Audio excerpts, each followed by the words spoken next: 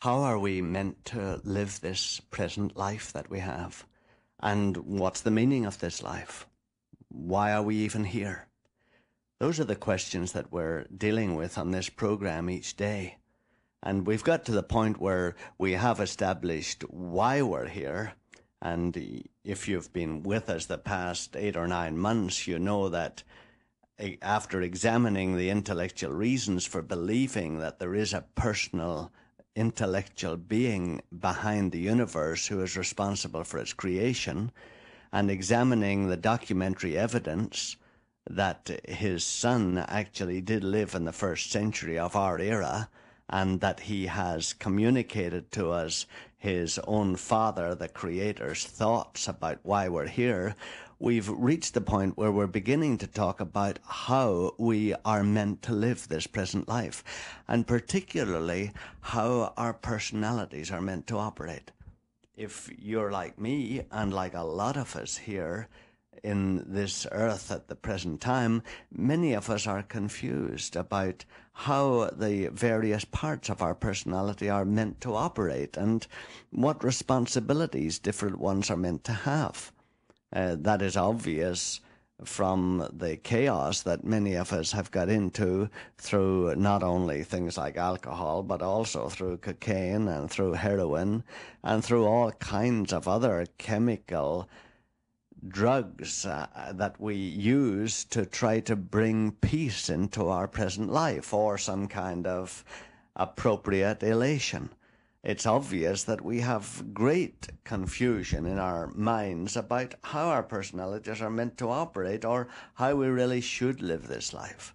And so we have been discussing it from the point of view of the one who made the life. After all, the best person to tell you how a Hoover vacuum cleaner works is the Hoover people that make the vacuum cleaner. It's the same with uh, an automobile, the best person to tell us how a Ford car should operate is Ford, the person that makes it. And so it's reasonable that the best person to tell us how our personality was meant to operate is, of course, our maker, the one who made it, the one who created it. And uh, if we can't speak to him directly, at least listen to his son. And it's his son, the man we know as Jesus of Nazareth, that has outlined in a fair degree of detail in his own words and in the words of his followers how our personalities are meant to operate. And he has pointed out that we exist on three different levels. Uh, obviously, the physical level is the most obvious to us. It's the body. Through the five senses uh, that we have physically, we are able to perceive the world around us of things and of circumstances and people. Then within that body, uh, which it wears like a kind of overcoat, you might uh, think of it as being inside like a suit of clothes. Underneath the overcoat is our soul, the psychological part of us. And that part of us is conscious not so much of the world, except as it perceives it through our body and through the five senses, but it's most conscious of itself. That's the self conscious part of us with our mind, we're able to look in and see what we're thinking. We're able to look at our feelings and see what we're feeling. And then inside that soul part or that psychological part is our spirits. And that's the real you. That's the very essence of you. It's what you are when you're alone. That's what your spirit is. Your spirit is the real you. It's also the part of you that is able to communicate with the maker of the world. It's in your spirit where you have a relationship with your creator. And uh, of course, many of us think, no, we have that relationship through our body. And so if we can pump the right heroin into our body, we'll come into some kind of wild spiritual experience, which will be very satisfying. And we find it isn't necessarily so, and it doesn't work and uh, all you're left in uh, left with after a while is kind of a wet soap bubble in your hand that has burst. It's the same with our souls. Some of us think, oh, well, we can think our way through to our Maker, or we can think our way through to some kind of wonderful religious experience, which will at last give us satisfaction. Well, of course, this, the mind itself is finite. and can only examine the information that is presented to it. And if that's inf- uh, finite information, that's as far as it can go. It's the same with the feelings, the emotions. The emotions are so influenced by the body, as we discovered over the past few days, that if you pump the heroin into the body, it kind of brings a passivity to the soul or to the emotions and appears to give you some sense of quiet, but it doesn't last any longer than the effects of the chemi- chemicals last in your body. And so the emotions are certainly not the place uh, uh, to perceive the maker of the world. It is in your spirit, actually, that you perceive Him and you understand Him.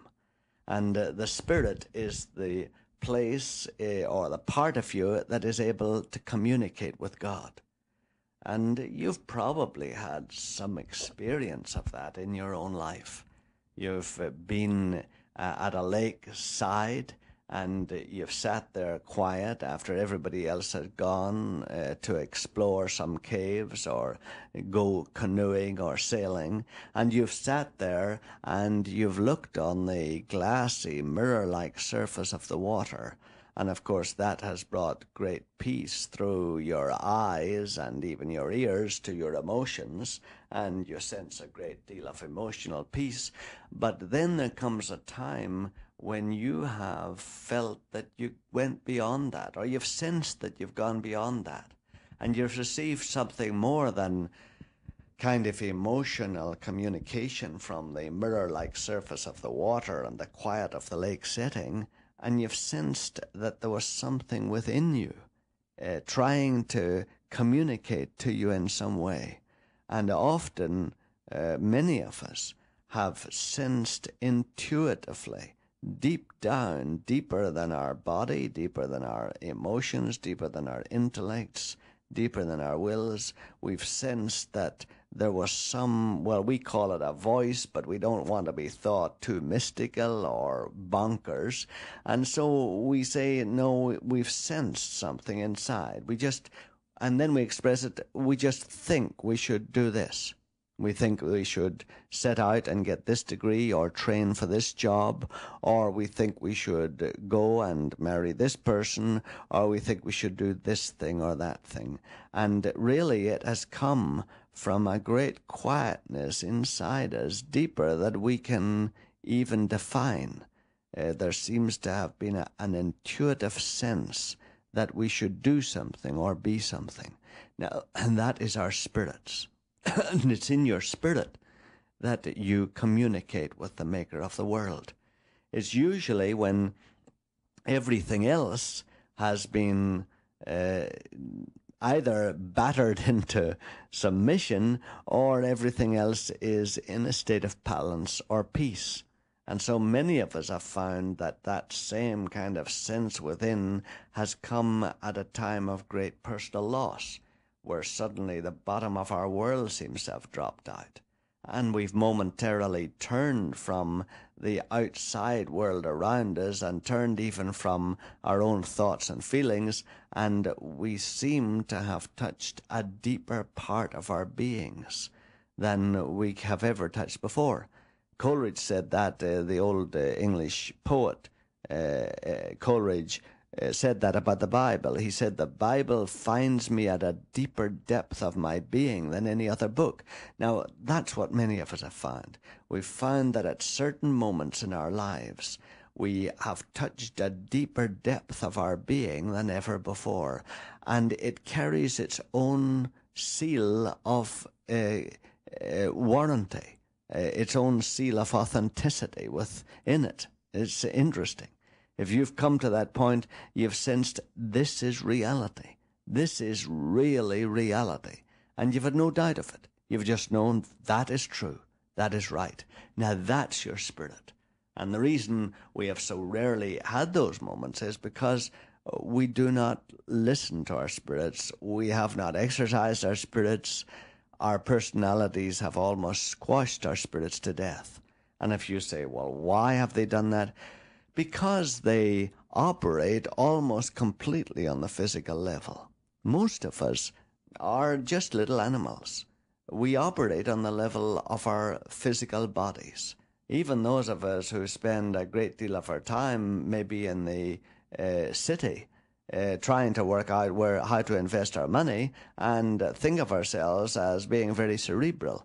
Even we are governed most of the time by uh, how we can get a nicer car or whether we can buy that uh, expensive French or German suit or whether we can have a good dinner with good wine this Saturday. And so we operate, most of us, on the level of our bodies. Let's talk a little more tomorrow about how we were meant to operate in these personalities of